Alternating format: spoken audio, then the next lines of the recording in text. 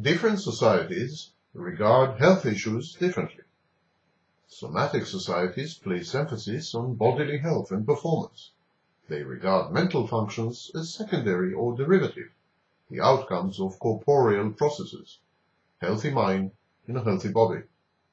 Cerebral societies emphasize mental functions over physiological and biochemical processes. They regard corporeal events as secondary or derivative, the outcome of mental processes, mind over matter. Elective societies believe that bodily illnesses are beyond the patient's control. Not so mental health problems. These are actually choices made by the sick.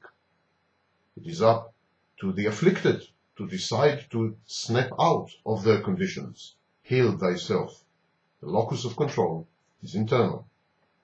Providential societies believe that health problems of both kinds, bodily as well as mental, are the outcomes of the intervention or influence of a higher power, God, fate.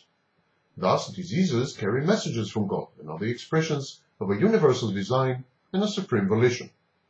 The locus of control is external, and healing depends on supplication, ritual, and magic.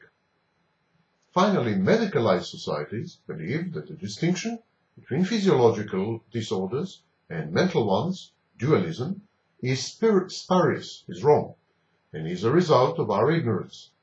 All health-related processes and functions are bodily and are grounded in human biochemistry and genetics.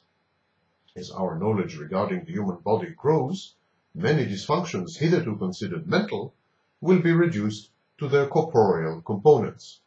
Examples, schizophrenia and depression.